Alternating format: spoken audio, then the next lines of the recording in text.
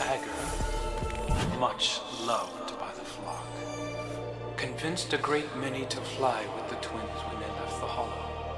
He knelt before Riga and presented the crown of feathers their mother had crafted for her and waited for her to respond in kind. She rose as queen, but did not gift Ager the scepter. His scepter. Despite everything, she still said he wasn't ready. It was a test of his will, right? His devotion. One he would not fail. For he was patient. So patient. Together the twins led the flock away from the oak's hollow to carve new nests in distant boughs beyond the forest's edge. Ager flew far and wide at Riga's behest, always thinking of her test, and returned home with tales of all that he had seen. Dark clouds surrounded them. Fires burned within trees, split by thunderous bolts. His twin kept his words close.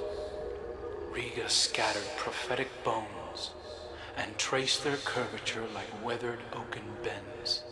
In them the signs were clear. A great storm did indeed approach, they in its path.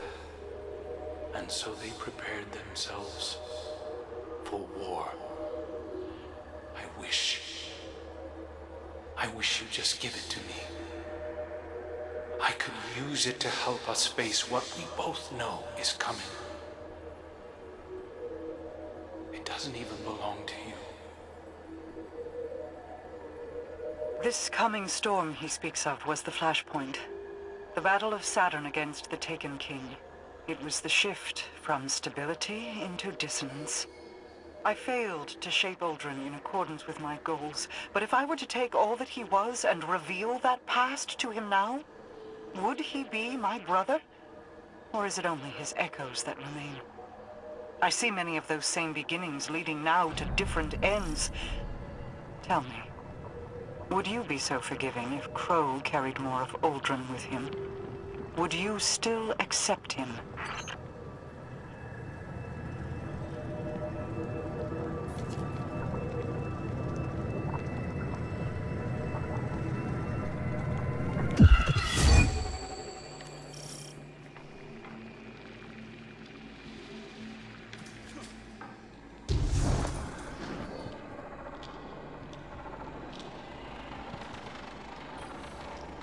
A defensive ward has been engaged over the scepter. It is a failsafe to keep it protected.